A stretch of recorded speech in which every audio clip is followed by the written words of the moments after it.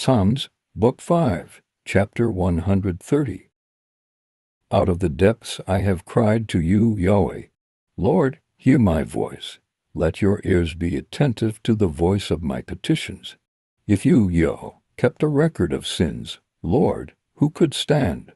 But there is forgiveness with you, therefore you are feared. I wait for Yahweh. My soul waits. I hope in his word. My soul longs for the Lord more than watchmen long for the morning, more than watchmen for the morning. Israel, hope in Yahweh, for there is loving kindness with Yahweh. Abundant redemption is with him. He will redeem Israel from all their sins. Thank you for watching. Please like, subscribe. Hit the bell and share.